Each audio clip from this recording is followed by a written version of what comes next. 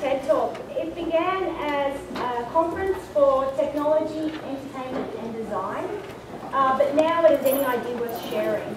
Uh, they're all talks that are 18 minutes or less, and the TED Ed Clubs is the educational branch they're developing, and uh, that's where students create their own TED Talk or TED-like talk.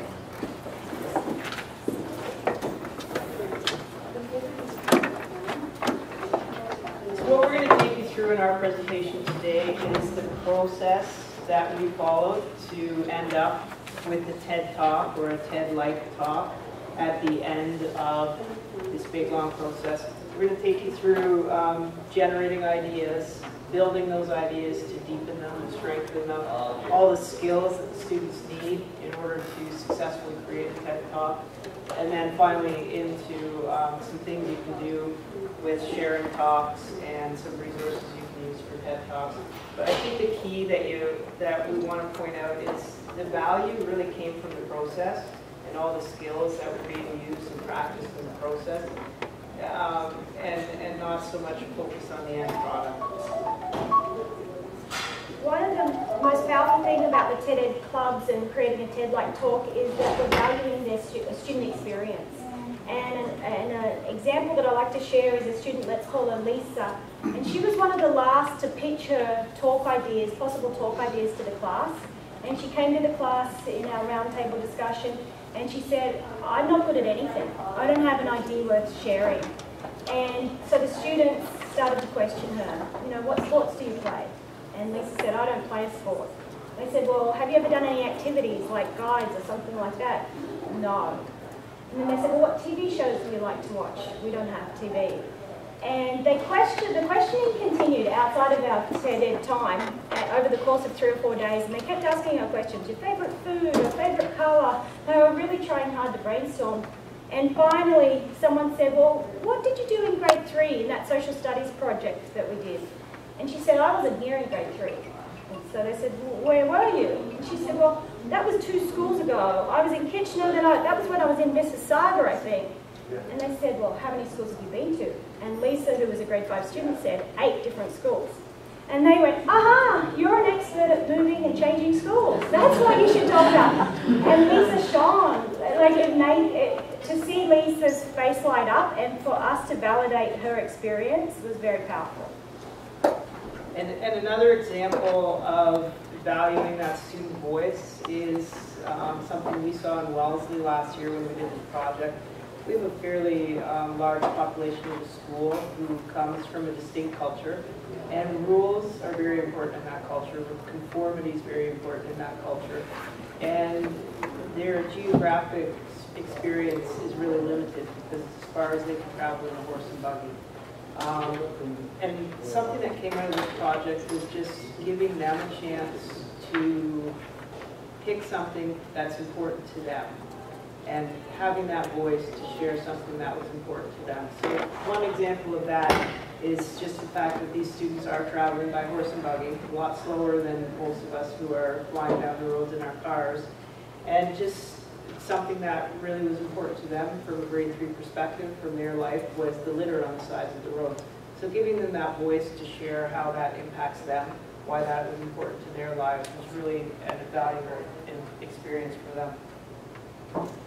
So we started by discussing what is an idea worth spreading. We had to figure out what is an idea worth spreading. And we decided that it's a message that is important to each student, something that they want, a message that they want heard a message that they want to share. And it's something that makes their home, their school, their community, their world a better place. So once we had that figured out, we started brainstorming some possible ideas, things that kids are passionate about. We ended up sending this anchor chart home with students along with a note to parents explaining what our project was all about. And we asked parents to help their child brainstorm some ideas, some things that they're passionate about. And we also asked parents to discuss reasons why that is an important topic, and why that is an idea worth spreading, so that when they came back to school, they had a starting point, some place to start writing. We pulled obviously a bunch of texts from our library. We looked at a variety of persuasive texts. We looked at some techniques that authors use to persuade people. We pulled a bunch of books from our library that tell the stories of children doing great things around the world. And one quote um, from this book, Our Earth, How Kids Are Saving the Planet, I had up in my classroom and it goes like this. If many little people in many little places do many little things, they can change the face of the earth. And I think this was, a, this was a great quote to use because we talked about the fact it doesn't have to be a big, huge global idea. It doesn't have to be kids raising um, money to build a well in Africa. It can be um, a little thing. And it doesn't have to be a big, huge idea. So that was helpful for a lot of kids to understand that. As Angie mentioned, the talk at home was really, really important to kids, um, generating ideas, but also deepening their ideas. Um, because of that, from a teacher perspective, we couldn't really mark the content of the talks because there was a lot of conversation going on at home. So what we looked at as far as an assessment piece for this project was the oral communication, which really lends itself to that. So there, what we have up there on the screen is just an example of what our learning goal and success criteria look like. Obviously that was for grade three, so depending on your grade, it might look a lot different. But I think just remembering that we were looking at the oral piece as opposed to the content of the talks, just because the amount of home, uh, school connection that was going on. So throughout this project, we obviously had a bunch of mini lessons that we worked through with the students. And we pulled our mini lessons from a variety of different resources. I'm sure you all have your favorite resources that you like to use um, to get ideas for, for your lessons. But we focused, our, our mini lessons, we focused on persuasive techniques, generating ideas, bold beginnings, word choice, and revision. And it's important to note that we um, started this project in April, so the kids had a whole year of um, working on generating ideas, bold beginnings. These weren't, this wasn't new to them, but it was kind of a neat way that they could take what they had learned throughout the year and put it together in this final project. Um, the GAF accounts, our Google Apps, were very valuable because students created their talks in their Google Documents and then they shared them with not only their own teacher but other teachers at the school to gather feedback and with each other as well. Um, it's also helpful because you can research and uh, find copyright-free images and have them referenced appropriately. Uh, for their final presentations, we use Google Slides so that it was quite complete and they could basically work from work on their talk any place where there's an internet connection. Uh, I included some TED hashtags. They're quite um, active on the web if you wanted to begin to follow them on Twitter or something like that, or their website's excellent resources. Uh, on the left screenshot there, there's an example of the sort of uh, the sort of feedback, and you can see how many times a student with the blue icon has gone back and responded to uh, ideas given by classmates and further developed his talk. Um, I also want to mention that if you do decide to do a formal TED Ed club, they hold TED Ed Connect weeks, and that's where you have a web chat with other TED-Ed clubs from around the world. I think that's quite valuable because it gives them a sense that the audience is greater than their own classroom and they're greater than each other. And uh, that's obviously really motivating and, and, and. Um, we recommend creating your own rubric with uh, your class depending on what your learning goal and success criteria are. But that's just an example. We sort of wanted to share with you all that we had so that you would have some a starting point. Um, the handouts and the URL, this slideshow will continue to be available to you uh, tips and tricks. Um, I recommend getting an idea that they can talk about for a decent amount of time. So something that, that they can't just easily research on Google and find out the answers in five minutes.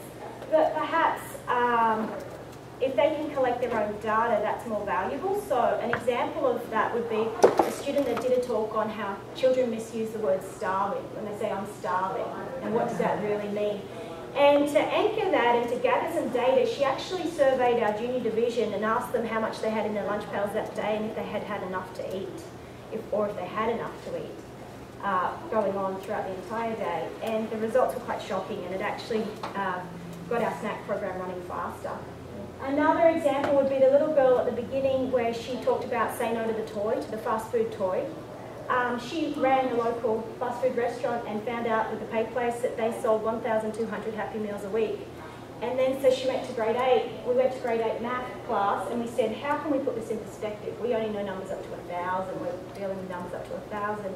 And so they did the math for us and they worked out that that would fill, just that one McDonald's would fill the classroom with toys in six months. So that gave her a, a, some great things to talk about and, and anchored those numbers for her.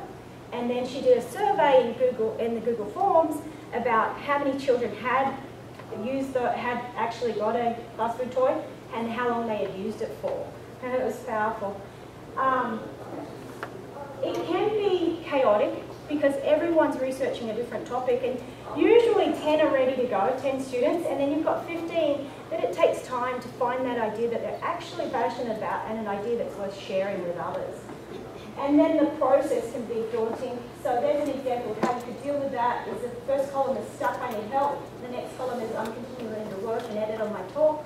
And the last column is I'd love some feedback. So then the small group goes out, they, they share with each other, they film each other on iPads, they get feedback from each other and also from the iPad as they rewatch their talk. If you do decide to do a formal TED Ed Club, that's the place to go to their website. Uh, you do have to apply early and then you have a face-to-face -face web chat if they want to see that you're a real teacher and answer any of your questions. But it is great resources. That's a screenshot of all the downloads you get. You get student workbooks, you get 13 clear lessons, um, you get examples of TED Talks that you can share with your class. It, it's worthwhile. There's just a few of the, the 13 lessons. And uh, here's an example um, of, they create a video for each of the lessons as well, and it just to show you how, the quality of the lessons. TED speakers are known for channeling their passions. In your first TED Ed Club meeting, watch a few speakers discuss their passions. What's your passion? What thoughts or questions make your heart beat faster? What are the unanswered questions you want to discover? Discuss the passions, ideas, and challenges that sparked your curiosity.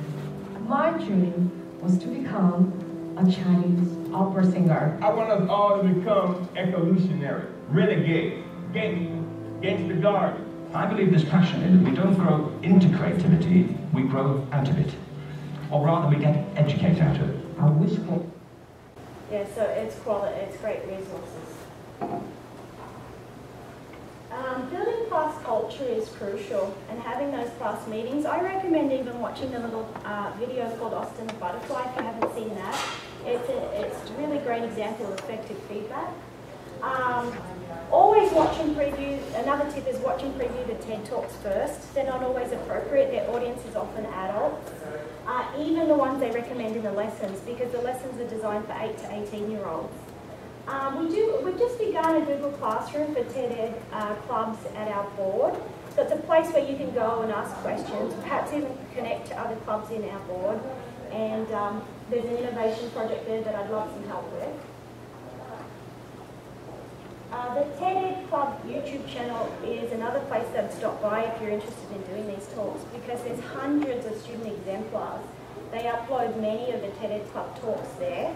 So it is a, there's a good chance that your, your students would be featured there and would be, um, their, their talk would be shared with the world.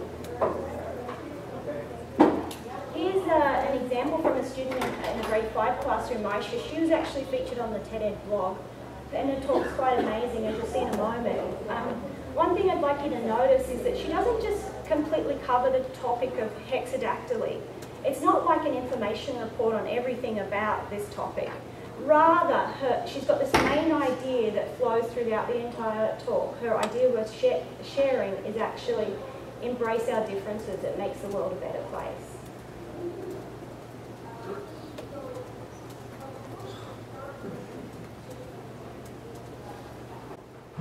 We all have 10 fingers, 10 toes, 2 eyes, 2 ears, and 1 nose. Make a wish. If you could have 2 extra of one body part, what would it be? Four eyes so you can actually eyes at the back of your head, double ears so you can hear all the things people ever say about you, or two noses so you can smell dinner from a kilometer away. Well, I didn't have to make a wish because I was born with 12 fingers. I'm a hexadactyl because if you're born born with six fingers and six toes, it's called hexadactyly. If you're born with more than five fingers or toes, in general, it's called polydactyly. So that means if you were born with seven fingers, like my dad, it isn't called hexadactyly, it's called polydactyly. Having six fingers never really bothered me because they cut my extra fingers off so short. The only time it's been hard is when I've lived with my cousins who are scared of going to contaminate them. Hexadactyly is not contagious. Well, in a way, it kind of can be. It can be inherited. It can run in your genes. Like me, it runs in my genes. My dad also had hexadactyly. He passed it back down to me. By the way, I'm not talking about this type of genes, of course. I'm talking about genetic genes. Genetic genes is when something is passed from parent to child. Just like I guess 12 said, I'm not sure. They must be a little confused. Also, Anne Boleyn, former Queen of England, had hexadactyly on my hand, which means hex people with hexadactyly are royal.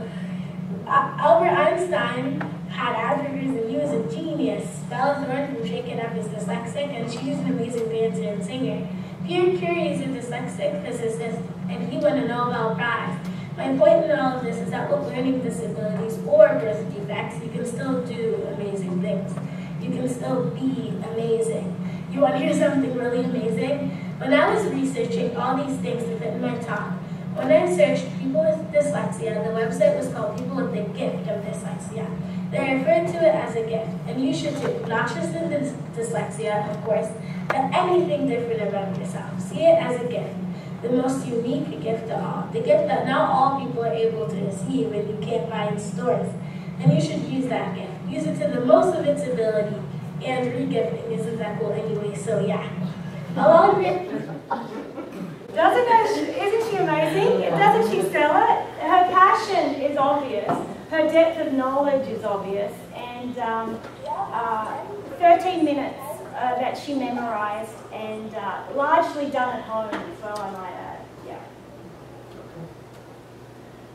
So I think we've probably covered most of what's on the slide. I'll let the slide speak for itself. Um, outcomes that we've seen from the TED Ed talk.